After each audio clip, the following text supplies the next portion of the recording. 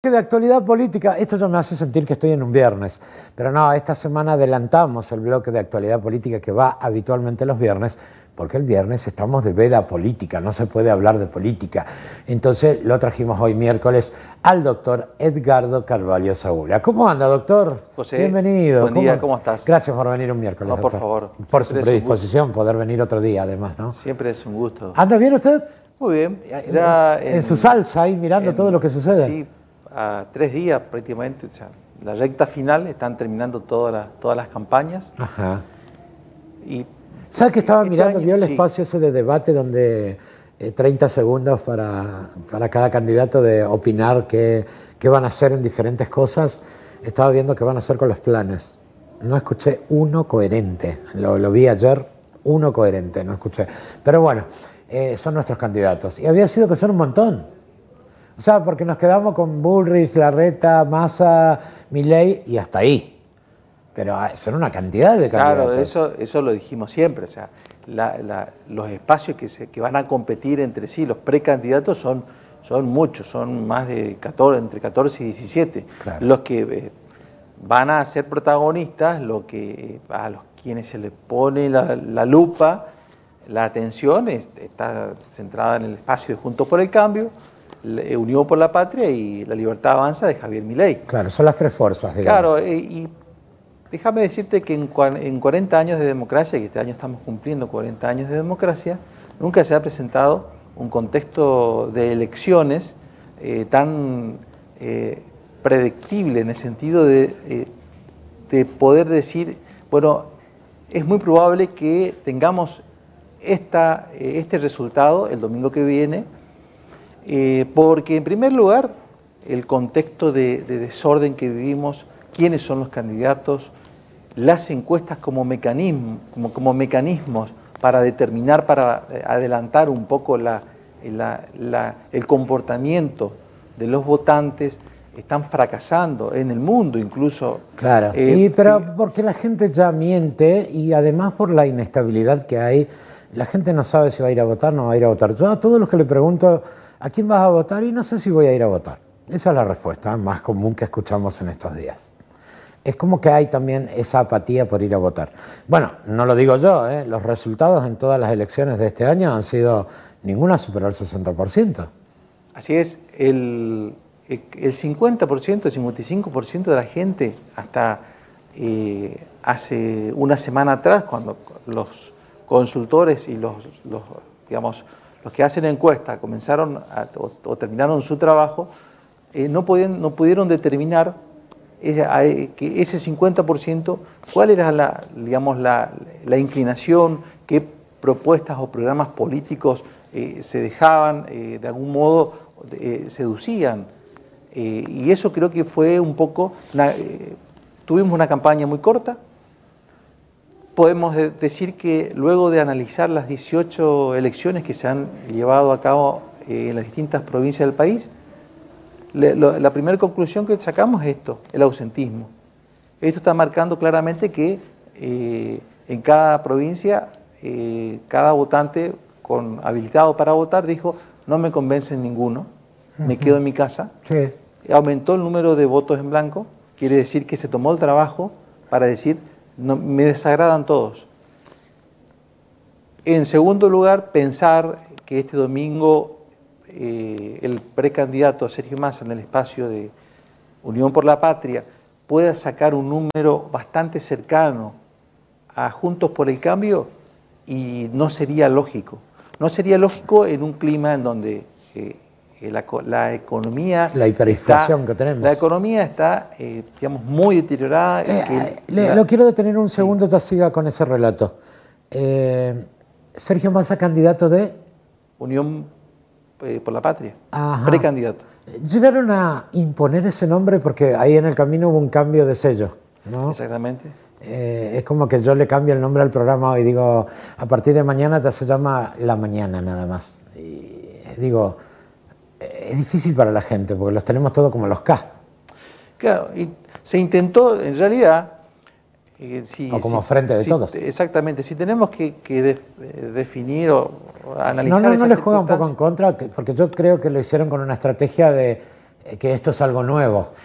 Claro, seguramente que se intentó desde siempre la, la, vicepresidenta separarse de lo que es lo, de lo que fue la gestión y de lo que es la gestión de Alberto Fernández con todo el desaguisado económico, con todo lo que está sufriendo, con todas las limitaciones que están pasando más, de, más del 60% de los argentinos.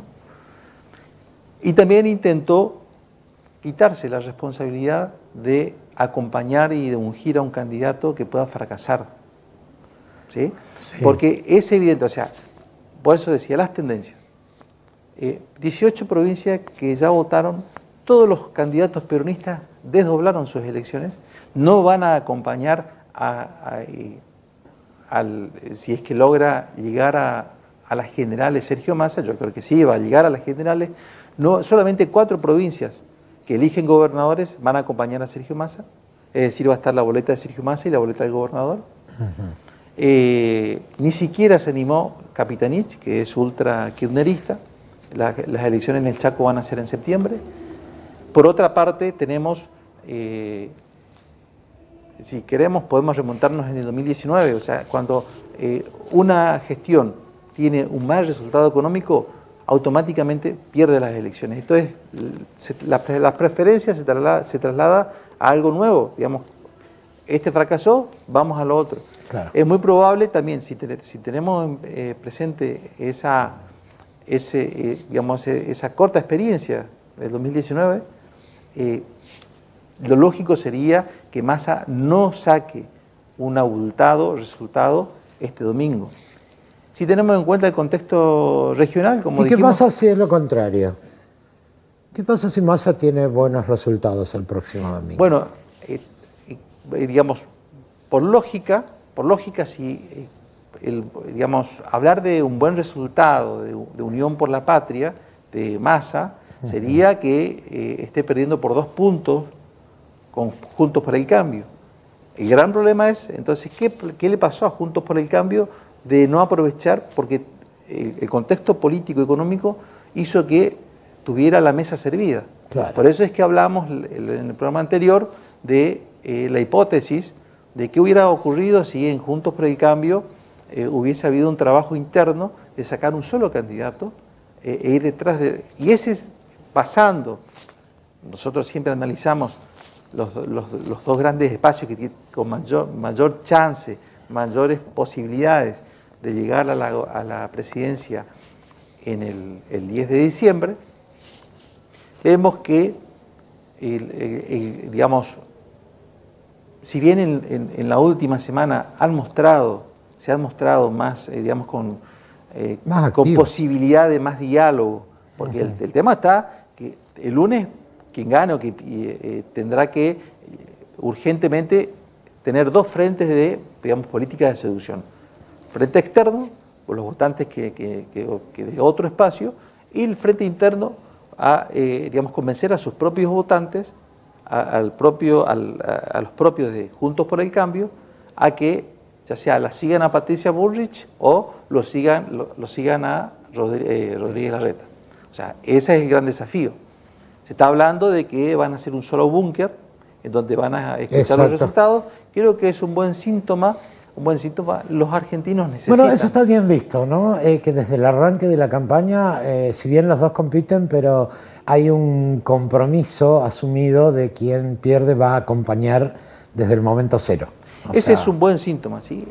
Eso habla bien de, de, A ver, me voy a la pregunta que, una de las primeras preguntas que hiciste eh, hoy, José. Y tenemos que, acá tenemos que, analizar de las personas muy politizadas, más o menos politizadas y, nada politizadas, que eh, el 50% de los argentinos no están hablando, eh, puede ser que hable, que, que, se preocupen por el dólar, si bien ni siquiera van a comprar dólar blue. hay gente pero, estamos los que nunca compramos un dólar y, sí hablamos del dólar. Sí saben que o van a faltar productos o van a subir de inmediato al día siguiente eh, porque hoy el dólar blue va a los precios. digamos, los precios dependen mucho ya del dólar blue, eh, pero a mí me pasó en lo personal que muchos, muchos conocidos, eh, profesionales, eh, la verdad, eh, tenían un espacio, digamos, un espacio político a quien, una preferencia de un espacio político, pero no sabían si a una o a otra opción. Claro. ¿sí? O sea, es, como que eh, le daba lo mismo, incluso le, generaba un poco de fastidio tener que ir a cumplir o no. algunos saben que tienen que ir a cumplir, lo hacen, pero ese es el gran problema de, la Argentina y, el gran problema que tenemos que ver el sistema electoral, qué está pasando en el sistema electoral. Yo creo que es la gran responsabilidad del sistema político. O sea, la democracia como sistema, como el sistema más civilizado el, que mejor funciona, o el, único conocido hasta ahora, eh, un modo de elección de manera pacífica, es la democracia, creo que como sistema no está en discusión. Lo que está en discusión es la clase política. Eh, a ver, yo le voy a decir lo que a mí me pasa, y usted haga el análisis que quiera. Eh, a mí me pasa que estoy viendo los nombres de los candidatos, ¿sí? Y me remonto a elecciones anteriores. Son los mismos. Lo tengo a Massa, estuvo en las anteriores, la tengo a Bullrich, estuvo en las anteriores, no tengo la reta, estuvo en las anteriores. Lo tengo a Ocaña, eh, a, eh, del Caño, del Caño es, ¿no? Estuvo en las anteriores. Mi ley también ya estuvo en las anteriores. O sea, es como, me faltó Lilita esta vez, no la ando viendo Lilita, desapareció. Es como que yo voy a ir a votar y están los mismos. Y miro los spots de campaña y nadie me dice algo convincente de qué van a hacer con nuestra economía, que es lo que más me importa. Yo quiero saber si tengo que seguir regalándole a la FIP el 21% todos los meses eh, para que mantengan planeros. Eh, es la verdad, yo pienso así. Y digo, eh, lo único novedoso que vi que se remontaron a los spots de la década del 80 patria, patria, patria, patria, con la imagen de la docente, del policía, del abuelito. Eh, eso es muy viejo, es muy spot español de la década del 80, que en el 80 daba resultado, pero hoy no. Siento que no tengo ganas de ir a votar y yo creo que eso le pasa a mucha gente. Y lo primero que uno pregunta es, ¿qué pasa si no voy a votar? ¿Me van a llevar preso? ¿Me van a llevar con la policía a votar? voy a tener que pagar una multa, no voy a poder votar en las generales, son muchas preguntas. Digo, bueno, más sí, la escuela me queda dos cuadras en mi casa, voy y voto. Pero hoy no sé a quién voy a ir a votar, porque ninguno me convenció. ¿No cree que esto es medio general, doctor, que está eh, pasando eh, eso? Fue, eh, eso se puede concluir de esta corta campaña, de, la, digamos, de que hubo una ausencia de un discurso y que condense un plan de gobierno en pocas palabras, de qué es lo que necesita Argentina, de qué es lo que hay que hacer y cómo hay que hacer. Vamos por parte. ¿Por qué no hay recambio de figuras? ¿Por qué siempre son las mismas? Yo creo que eh, es un, siempre es la permanente discusión que tenemos con, los colegas, con los que hacen política, ¿por qué siempre lo, lo mismo? ¿Por qué no le dejan entrar a otra si Nosotros, si nosotros vemos que el 50% de los argentinos no se interesan eh, en el discurso político, no se interesan o no saben ni siquiera quiénes son los candidatos eh, más nombrados, ¿cómo podemos pretender que, esa, eh, que, haya participación? Porque, por eso esto es un tema, digamos, de la, de la crisis de representación que nació allá a fines de la década del 90, de la gran apatía de la gente para la participación en los espacios políticos. Los espacios políticos se enquistaron en el poder, los espacios políticos cerraron todo tipo de puertas para que ingresen a debatir y a discutir internamente. Yo estoy muy de acuerdo con el sistema de, eh, internas que se aplicó durante el, año 2000 al 2007, 2008, 2009. Fue cuando, cuando pierde Kirchner y viene el sistema de las PASO ese sistema permitía que se discuta electoralmente dentro de cada partido, incluso te permitía la renovación, porque vos venías, o sea, te afiliabas, tenías un, año de antigüedad en, tu partido y podías disputarle la candidatura a, concejal, a diputado provincial y, o, aunque, o a gobernador de la provincia o a diputado nacional, pero competías y ofrecías, te ibas, te tenías comunicación con tu afiliado había ese vínculo entre la política y el pueblo. Con estos diseños electorales, lo que se, lo que, lo que se produjo es que la relación sea todo a través de, los medios de comunicación, de las cámaras, en donde no hay una interactuación no, y hay entre el pueblo, ahora. Eh, y a eso sumemos Internet, entre lo que es el pueblo, el votante y el dirigente político.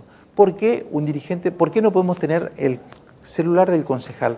¿Por qué el concejal tiene que eh, salir a la calle con vidrios polarizados? Sí, el hablar con el secretario del secretario. El gobernador, ¿por qué, eh, de esta provincia, por qué no puede salir por la calle? ¿O por qué no puede, o, los diputados provinciales, por qué no puede salir? Digo, yo aún para nuestra gente, estamos hablando en la provincia de Corrientes, cualquier gobernador, ¿por qué no puede salir? ¿Por qué se maneja a través de esa gran corporación política que se arma y que nunca se logra desarmar, que siempre está eh, ahí? Eh, creo que el, digamos, el, político para mí, detestable porque realmente eh, rompe el sistema republicano de recambio y de, digamos, de temporalidad en el ejercicio del poder, es Gildo Fran. Pero te digo una cosa positiva, por lo menos no es hipócrita, en el sentido que te reformó la Constitución y no te miente. Claro, no, reformó para él. Porque, a ver, Rovira tiene un sistema, Rovira tiene un sistema de elección, el, bueno, tuvo, se fue electo el gobernador ahora, pero responde Rovira. Eh, Rovira no es gobernador, hace 20 años que está como diputado de la provincia de Misiones y digita quién es el gobernador. Milei. Milei es una, figura nueva, eh, hace dos años fue electo eh, eh, diputado, es candidato a, precandidato a presidente por su espacio. Sin dudas que los que lo van a seguir son más desengantados con la política que liberales, pero tiene, digamos, pero demuestra para la lógica todas, digamos, todas las características de una inconducencia para ejercer el poder. Nosotros necesitamos un serio debate, y eso es nuestro desafío como sociedad, de exigir eh, el recambio del sistema electoral en Argentina. En Argentina. Eh, eh, rever el sistema de partidos políticos en Argentina. Sí, las figuras. rever, ¿Por qué si elegimos al presidente nos tenemos que comer al vicepresidente que no nos gusta? Rever el sistema, a ver, de, voto. La provincia de Buenos Aires va a tener un metro. La, boleta electoral va a tener un metro. Un metro, sí.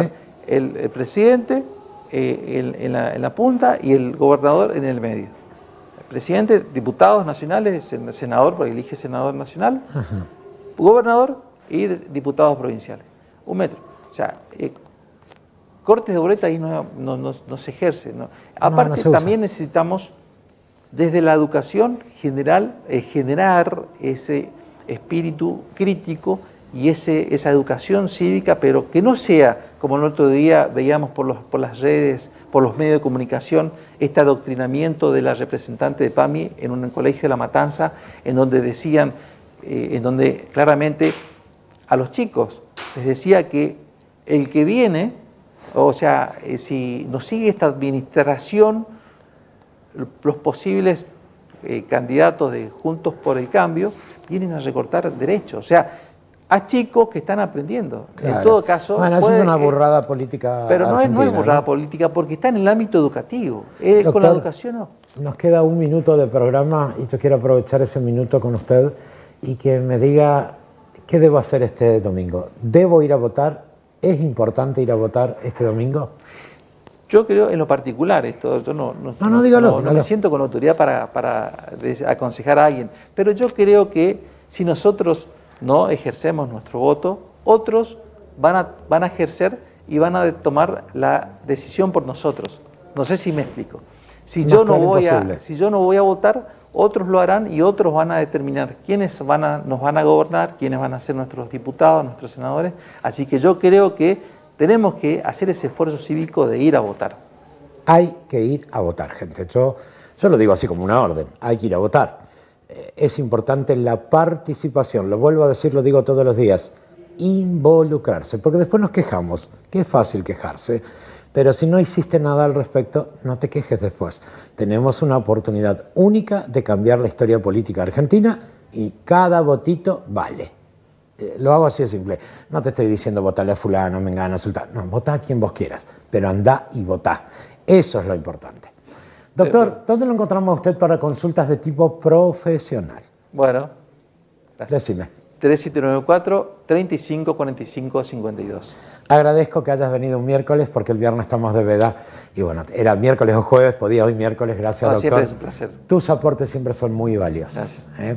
De igual manera síganlo al doctor en redes sociales, ¿eh? como Edgardo Sabula, busquen en Facebook, en Instagram, en, en, Twitter, están en Tinder, está en todos lados el doctor, así que lo pueden seguir en todas las redes. Gracias Edgardo, lindo. A mí me encanta hablar con él, a veces me gusta pelearlo, pero eh, los aportes de él son muy, muy valiosos. A votar el domingo, gente.